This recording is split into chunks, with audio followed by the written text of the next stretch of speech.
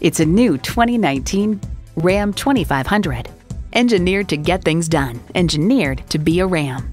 Features include V8 engine, HD suspension, automatic transmission, trailer brake controller, streaming audio, wireless phone connectivity, manual tilting steering column, active grille shutters, heavy duty shocks, upfitter switches, and power heated mirrors. You need to drive it to believe it. See it for yourself today.